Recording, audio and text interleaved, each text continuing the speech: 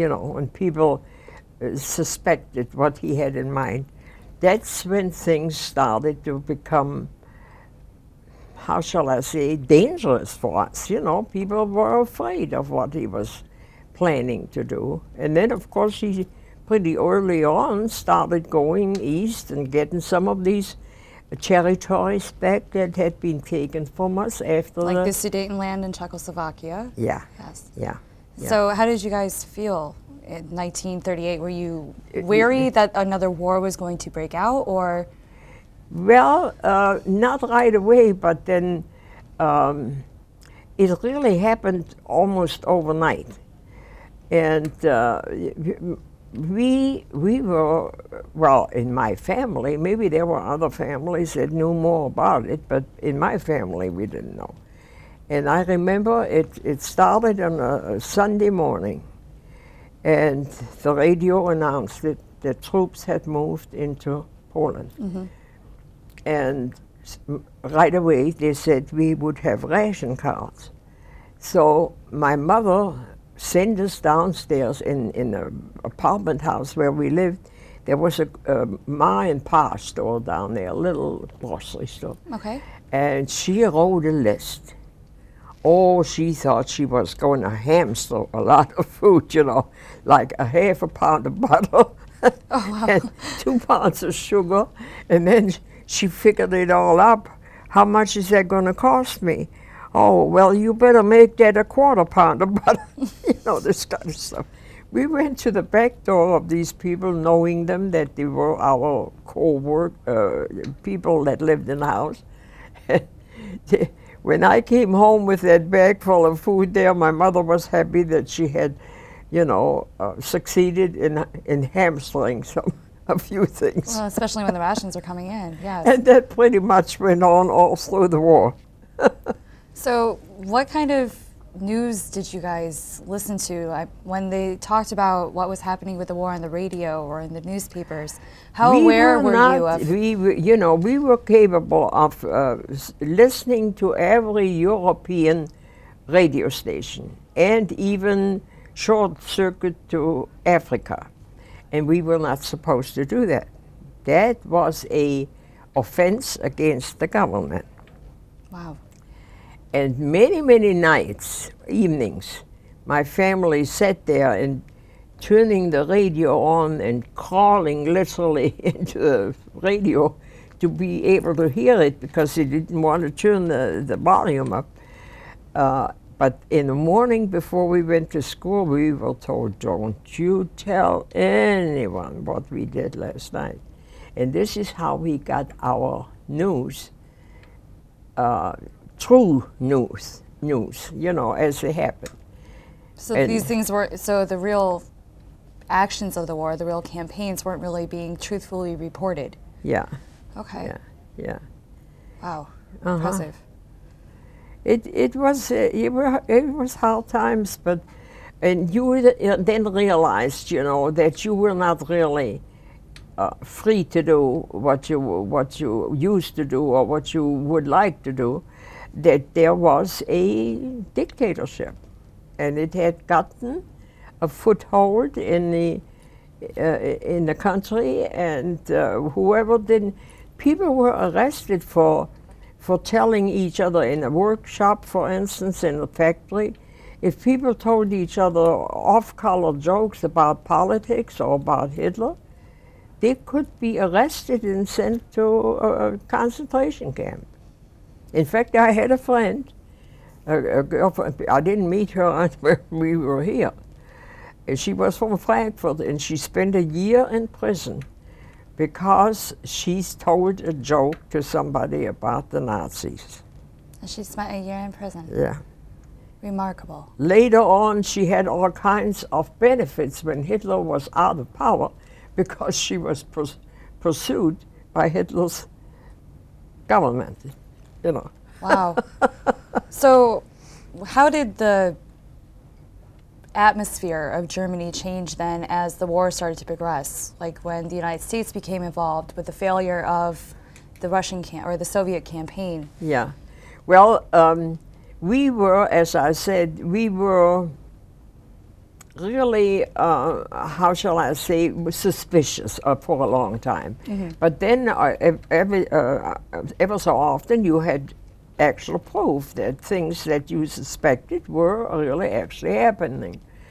And when we heard that the United States had entered into the war, everybody was thankful. This is the end of the war. We can't. This is too much for us. We can't, you know, fight that, that much force. And everybody was relieved. There was another Sunday when that happened, and uh, we were in a in a in a pool. In a, it was summer, and we were in a pool, and everybody was hugging each other, and the people said, "Oh my God, it's over," you know.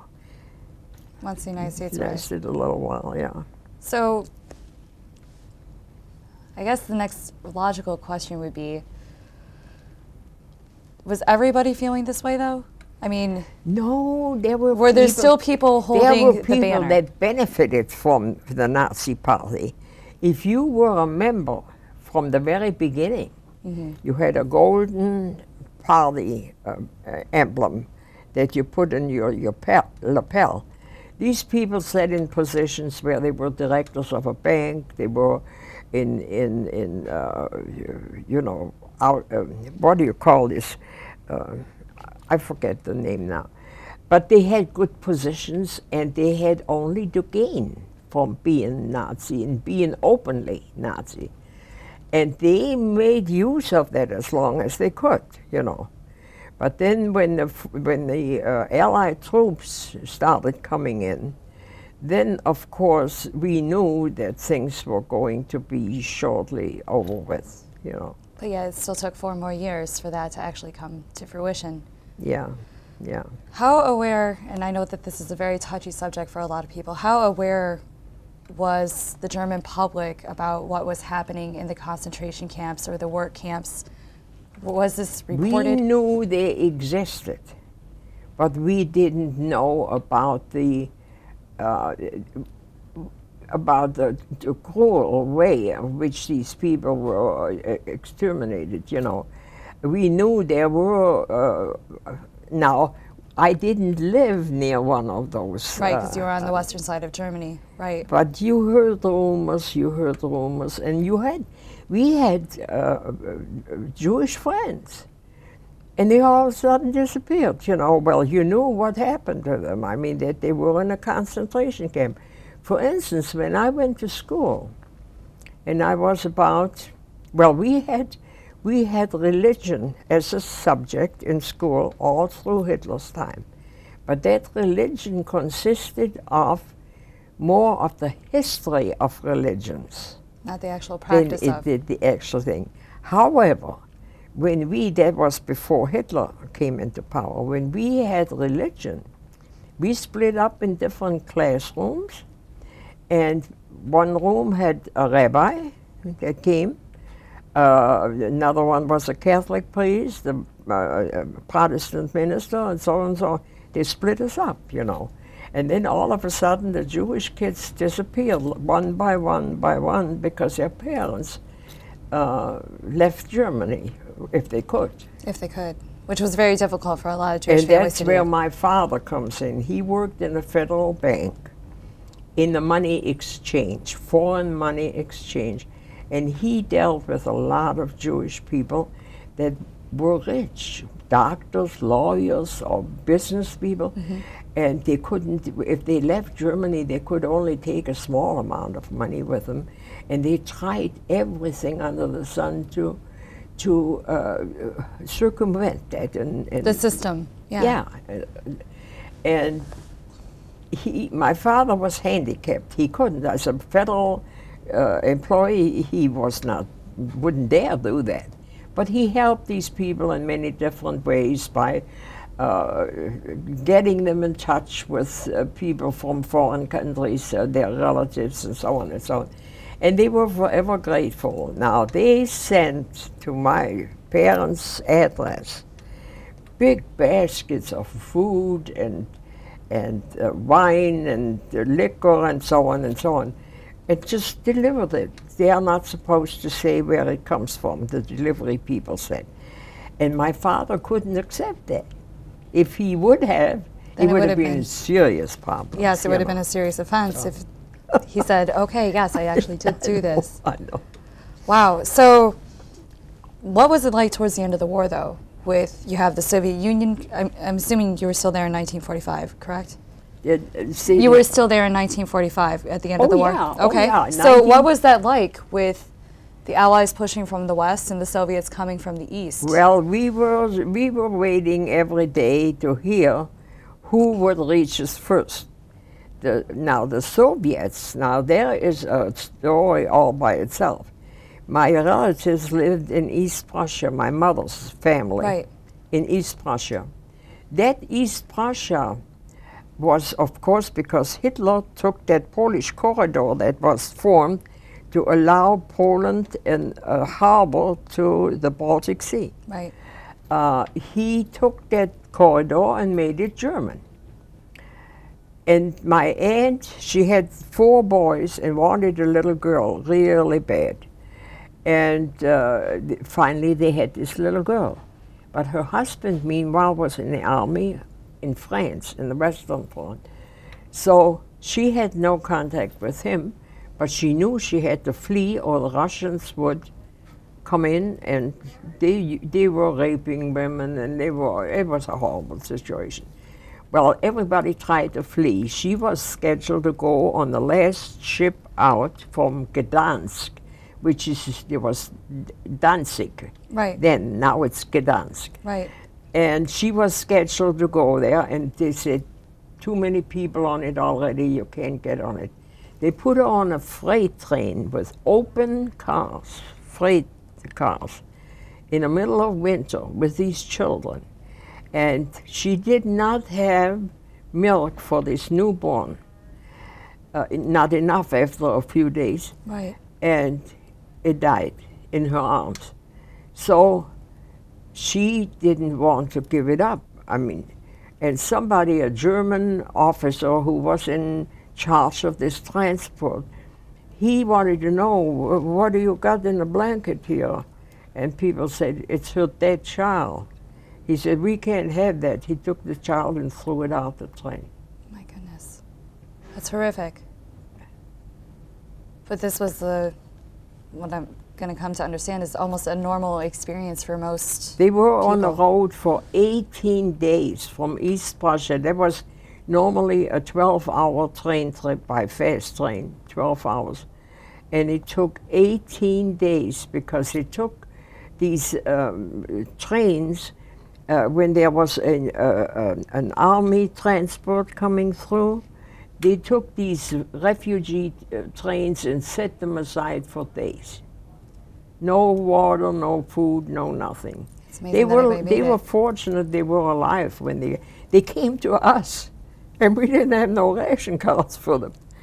And then she she came with not only her four children that were left, but a young girl that was assigned to her to help her with the children because Hitler wanted women to have a lot of kids, you know. Yes. And every woman with four children or more got assigned a um, a nanny, you know. And she fled with her also. So they stayed at our door and wanted to camp with us. Well, we took them in, of course, slept on the floor and everything, and then tried to straighten it out. She was supposed to go to the British zone. And uh, she didn't, she said, I have my sister here. I, I want to stay with them, you know. No, you got to go to a British, uh, she went to Osnabrück uh, in the British zone, you know. And my grandmother came the same way. She had to close up her apartment, turn the key, and walk away from everything she had except what she could carry in two bags and a rucksack. And she came with double pneumonia and wanted to stay with us. And, and they, they, they didn't allow that either, but then eventually my dad, through connections, that, that's what you needed to exist, to, to, to stay alive, connections, somebody Nazi have. party. Yeah, there you go. Wow. Yeah, that, that's the way it went. So, how did things go down then in the spring of 1945. What do you remember Well, about that? uh, we were fortunate. We were fortunate because uh, we were in the southwestern part of Germany. There was no, no place for us to go. People would say, Are you going to leave when the enemy, the enemy, whoever he was, Whether comes? it be Allied or Soviet at that yeah, point. Yeah. Uh, wh- whoever comes, where, you will, where are we going to go? We are going to be in France. No, that's foreign country.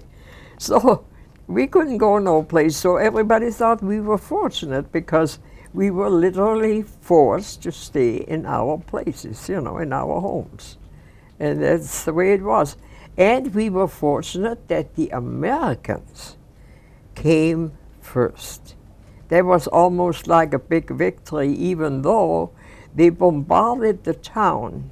We had been evacuated because in Stuttgart, where we lived and where I was raised, we had air raid uh, uh, damage, lots of it. I can imagine. And we had no windows, no doors in the place. And finally, my father, again through connections, uh, found um, a, a worker of, that worked for him, a, a man that worked for him in the bank, and his wife was a Swiss citizen. And they had a little three apartment house outside in the suburbs, far out. And he was willing to rent this to us, and we moved there. So we didn't live in the city of Stuttgart anymore. And that was our fortune because when the foreign troops came in to occupy us, it happened to be the Americans, and right next to our house was a railroad overpass, and that was the border between the American troops and the French troops. So you were the fortunate French to get the Americans. had occupied the city, the big city, and